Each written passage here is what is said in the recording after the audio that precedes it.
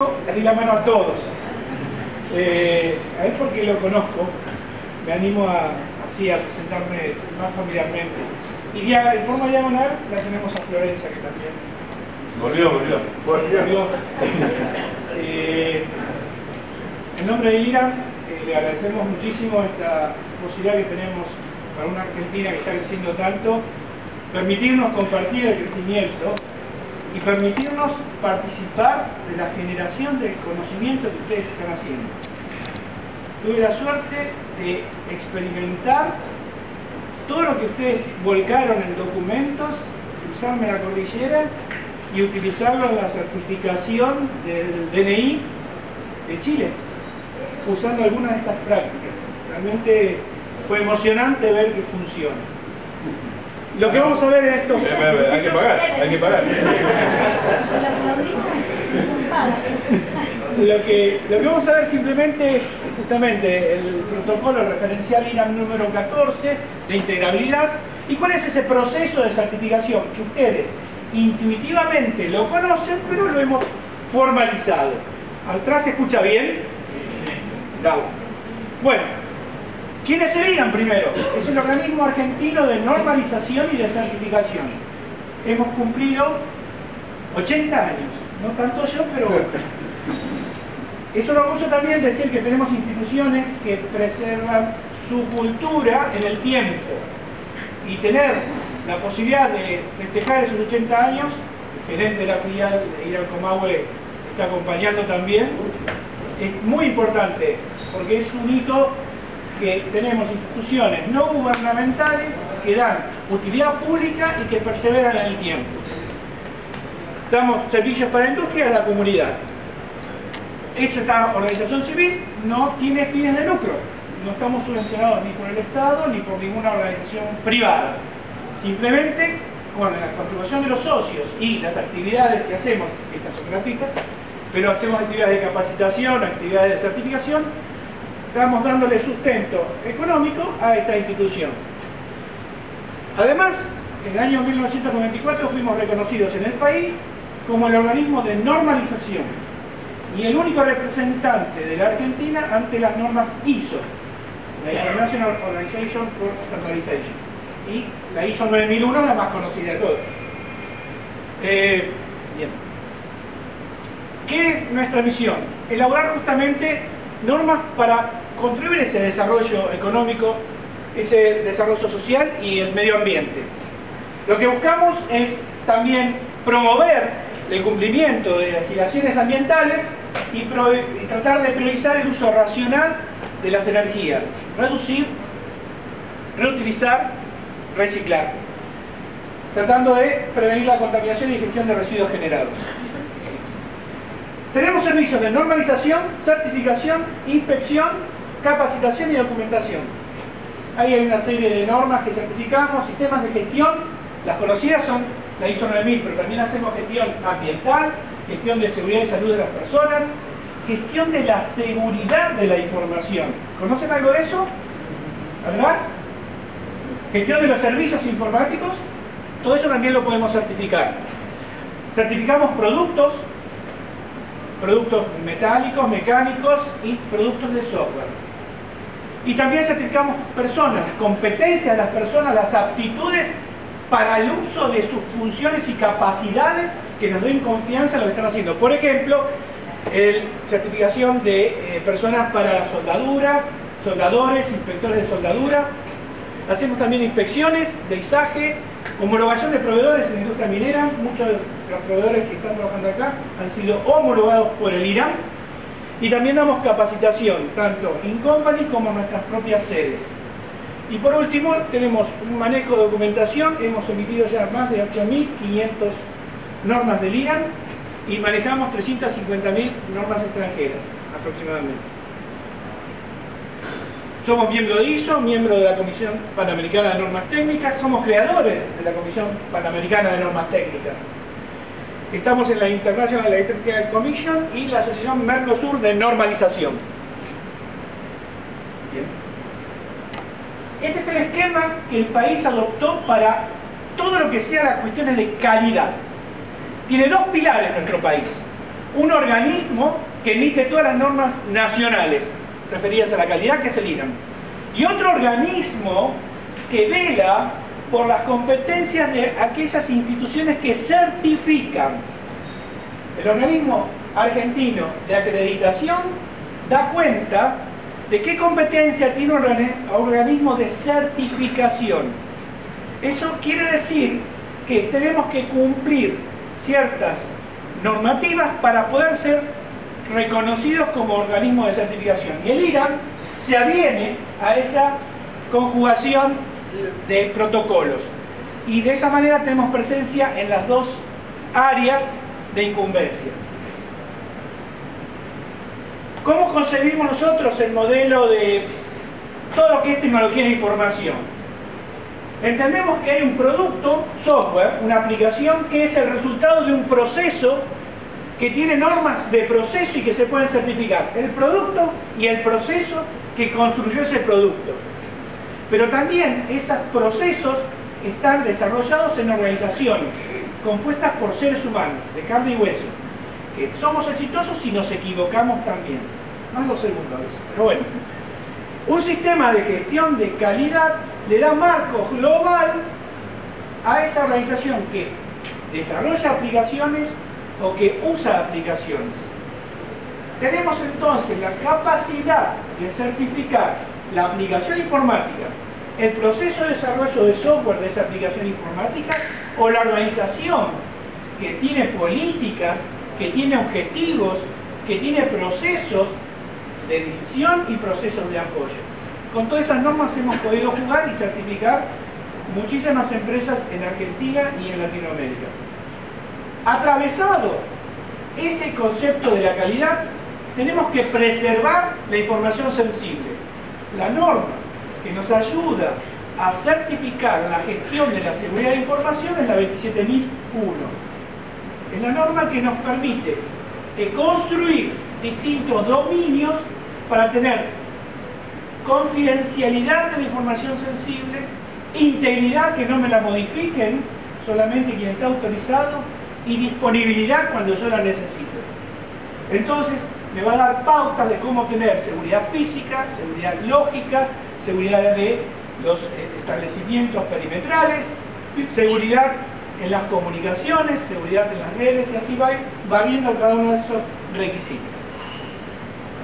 Y aquí la nuestra norma predilecta, nuestro referencial predilecto, ¿por qué es predilecto?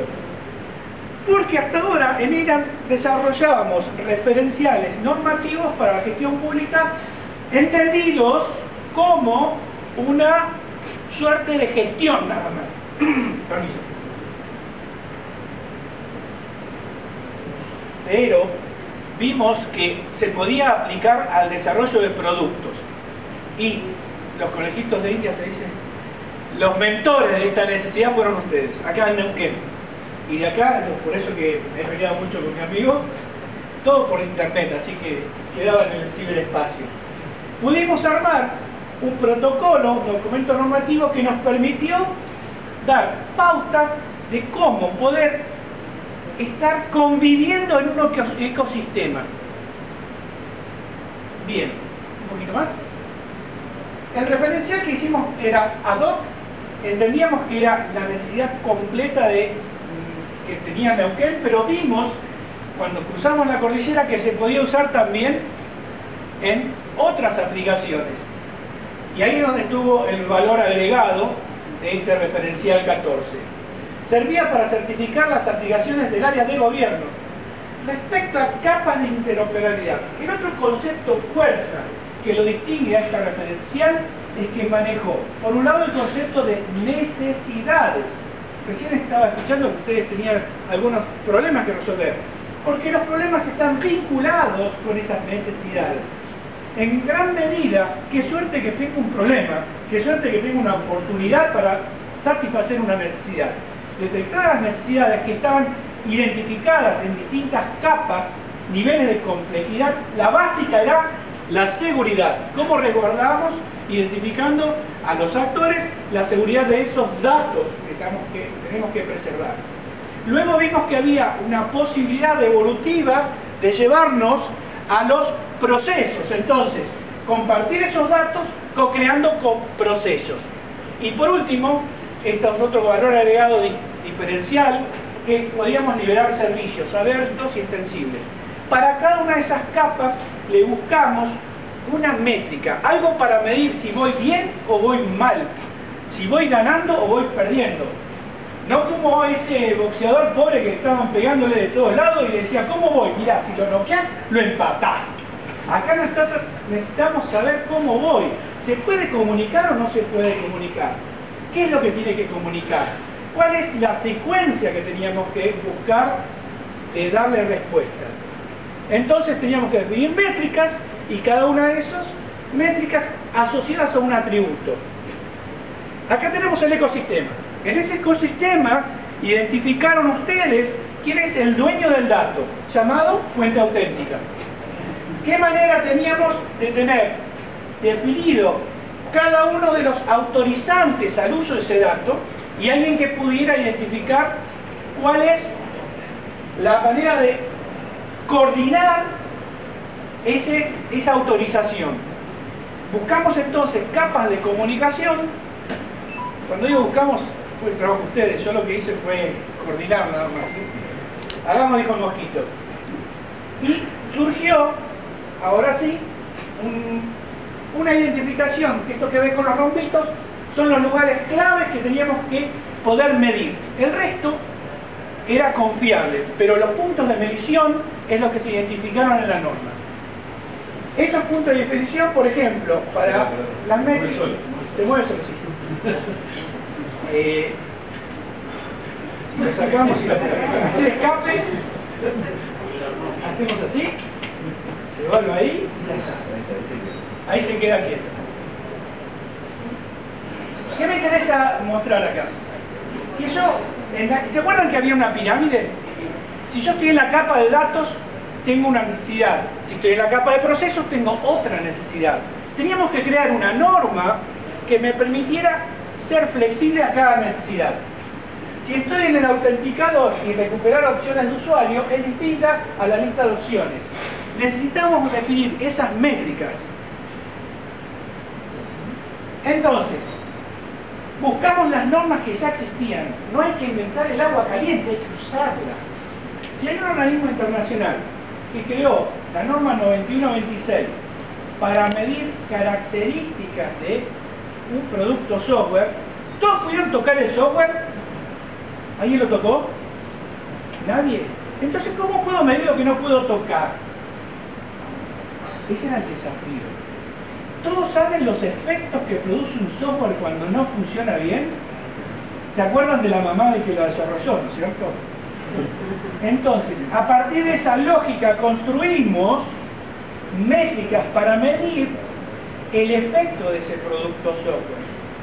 La norma 25.000, ISO IEC 25.000 y la norma ISO 9126 da unas 300 métricas para medir desde la funcionalidad, mantenibilidad, interoperabilidad, seguridad, capacidad de recuperación de datos, entonces una serie de atributos deseables. Se eligieron los críticos para estas capas. Entonces, se eligieron integridad de la implementación funcional. Todo lo que teníamos que aplicar está íntegro. Cobertura de la implementación funcional. Cubre todas las necesidades. Conformidad de interfaz. Eh, auditoría de acceso. ¿Me permite saber quién accedió a esa aplicación? ¿Me permite saber qué tiene en control de acceso con un log de acceso un one login? Entonces, esos atributos son los que empezamos a medir en la provincia de Neuquén. Y justamente estos dos atributos son los que pudimos usar en Chile para medir la aplicación del software del DNI. Utilizando esta lógica. Hay familia de atributos llamados características adecuación, cumplimiento, seguridad, interoperabilidad, comportamiento en relación al tiempo, cumplimiento de la funcionalidad y capacidad de ser modificado. Esto es pensando a futuro. Cuando evolucione y madure la aplicación, tengo que tener facilidad para hacer esa adaptación.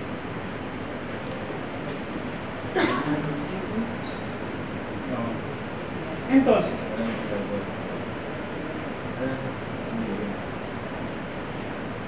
¿cuál es el proceso? ¿Cuáles son los pasos que tengo que seguir para poder certificar, para saber que puedo cumplir un requisito? Si yo tengo que certificar es simplemente saber que cumplo un requisito.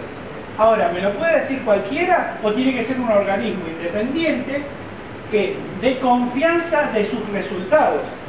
Entonces creamos este modelo con una norma internacional que nos, nos avala y podemos decir que primero que tenemos que hacer es clasificar el software en qué entorno informático puede ser. ¿Hay alguien de, vinculado a CIUNET acá? recursos humanos? ¿Por ahora? Bien. Si yo tengo que interactuar en una aplicación, tengo que saber esa aplicación, el ecosistema, con quién va a tener que comunicarse. ¿Y quién me lo tiene que definir eso? ¿Optic? ¿Está Optic aquí? Bien. Eh, no, porque tenía unas preguntas para hacer, de aprovechar. eh, chiste de por medio, la idea es que esa prerrogativa la tiene que tener la provincia, no lo tiene el IRAM. La provincia dice, esto quiero que funcione en este modelo. A partir de ahí, analizamos las capas de necesidades y establecemos los requisitos de evaluación. En el punto B, lo que hacemos es definir unos usos de métricas según la capa que tiene que dar respuesta. Según esa capa, se definieron ya, no hay que pensarlas, tuvimos nueve meses trabajando en distintos escenarios para saber qué requisitos voy a tener que cumplir mi aplicación. Y si la estoy desarrollando, necesito poder saber qué me van a pedir. En el pedir está el dar. Si me piden bien, puede ser que dé bien. Si me piden mal, seguro que voy a hacer cualquiera. Y eso es lo único que tenemos de valor agregado anticipar lo que me va a pasar. Con ese protocolo entre los actores, si es cliente, consumidor de datos, consumidor de procesos o de servicios, o proveedor de datos, de procesos o servicios, fuimos pautando tipos de pruebas ya tabuladas. No están inventadas por nosotros. Las pruebas están ya establecidas en la norma internacional. Nosotros las ubicamos en cada nivel de uso, nada más. Y ahí se especificaron los casos de prueba que hay que desarrollar. Un web service, por ejemplo, solicitud de datos. Si sabemos en esa secuencia dónde voy a aplicarlo, empiezo a diseñar la evaluación. Aquí recién empieza a trabajar el laboratorio, antes no. El, el testing se hace en esta instancia, previo a haber definido en qué capa voy a estar trabajando, dónde está mi ecosistema ¿Y cuál es la evaluación que tengo que hacerle? Recién ahí, diseño de evaluación. ¿De dónde voy a sacar las métricas de evaluación? También de la tabla de las normas de testing. Se realiza las pruebas y si el resultado es positivo, se aprueba la aplicación en la referencial de integralidad. Simplemente me tomo dos minutos para hablar del caso de éxito de la certificación de esta nueva norma 25.000, porque es nueva porque esto nació en la década del 90, no se, no se tenían muchos modelos de calidad de software. Eh, empezaron con McCall y un montón de gente que dijo, bueno, yo quiero tener algo para que mi cliente me pague y no me diga que, que no le cumplí. Y se armó entonces una tabla de métricas con la 9196. Evolucionó eso y se creó después un proceso de evaluación con la 14598. Y hoy evolucionaron las métricas, evolucionaron los requisitos, evolucionó el proceso y se unificó todo en una sola norma, la 25.000, que está dando las pautas. ¿Cómo especificar la calidad? ¿Cómo yo hago los requisitos? ¿Cómo los escribo para entender lo que quieran? ¿Qué es lo que querés? No sé, pero lo quiero vehementemente. ¿Nunca les pasó a nadie eso? ¿Cómo defino entonces esos requisitos de calidad y los traduzco en atributos? ¿Cómo hago mi proceso de evaluación, ese conjunto de actividades que es el mismo que les mostré en las cinco letras? Y esa es la forma de la 25.000. El gobierno de Chile cambia toda su estructura de identificación, le agrega un montón de requisitos biométricos y además de eso le incorpora una evaluación de calidad. Y tuvimos, eh, no sé si es la suerte o la consecuencia, que en Latinoamérica no había otro país que la pudiera hacer la certificación, así que nos llamaron a nosotros, competimos con Francia, con España y no hay más. Estados Unidos tenía otro tipo de lógica. Bien, ¿qué funcionalidades tenía esta aplicación? Nos centramos solamente en la captura de los datos, o sea, cuando uno va a obtener las huellas digitales, la captura facial, el software tiene un algoritmo que traduce en un polinomio esos valores, verifica la identidad, tiene un cotejador por lado de impresiones dactilares y tiene una base de datos para que esa identidad pueda ser usada, por ejemplo, en el banco, cuando uno quiere entrar al, ser atendido por el cajero o la cajera, si no apoya la huella digital, no lo atienden o no puede retirar dinero. Entonces, ahí hay una interfase entre la aplicación y los datos de la persona. Ahora, es grave que usted vaya uno con su dedito igual y saque dinero. Pero no menos grave que uno quiera sacar su dinero y le dice la cajera, vos no sos vos. Porque si soy yo, sí, pero tu dedo dice que no lo sos. Entonces, si no tengo una aplicación confiable que no me dé falsos negativos, tampoco me sirve. Eh, entonces, las funcionalidades son capturar los datos de la persona, ahí incluyendo la firma, verificación de la identidad, producir el documento y la entrega. Tiene que hacer 25.000 cédulas por día y 1.400 pasaportes por día. Y lo interesante que ofrece un montón de servicios de apoyo y los venden para Interpol, para registros de otras unidades y empieza a haber integrabilidad e interoperabilidad de los datos. Y eso es lo que hemos certificado. Una de las características fue esa.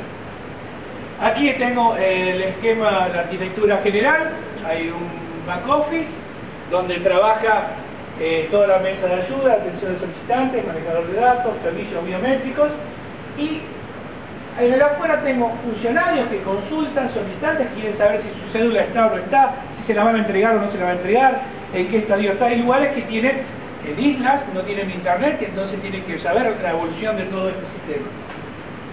Eh, bueno, cómo es la parte de solicitud de documentos, cómo gestionan internamente y este es el resultado final. Obtener para ocho módulos, que es el de solicitud de documentos, ¿listo? La solicitud del documento es la captura de los datos de las personas, si está pendiente o no está pendiente ese documento, si hay una correspondencia porque hace el envío, eso que le decía, las islas, qué inventario de documentos, cuántos hay, cuántos no tengo, miren si se me pierde eso. La entrega, el proceso de entrega, el bloqueo de documentos. ¿Qué significa? Me robaron la cartera. Entonces llamo, mira, mi DNI este, lo robaron, bloquealo. En realidad me robaron la cartera, pero el DNI lo dejé en casa. Che, eh, desbloqueámelo. Todo eso se puede hacer por internet. Todas esas funciones se fueron, pudieron evaluar, pero son todas comunicaciones. El concepto de integralidad está embebido en todo ya. Eh, servicios a terceros, estos eh, servicios que le dan de información a empresas que pagan para saber desde un banco o desde alguna repartición policial cuál es el estadio de la persona y coteja todos los datos y un portal web de usuario para consultas. Por último, la innovación en la gestión pública ha sido reconocida como el eje de los nuevos... Disculpa mía, Me retiro. Eh. No, es imposible